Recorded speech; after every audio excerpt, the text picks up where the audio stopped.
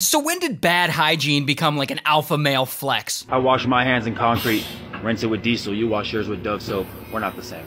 I'm sorry, but men trying to impress other men is just adorable. I wash my hands with Listerine and doo doo. We are not the same. By the way, if you Google the phrase wash your hands with diesel, it literally says, under no circumstances should you wash your hands with diesel. Or what? Am I not manly because I read? Does literacy make you gay?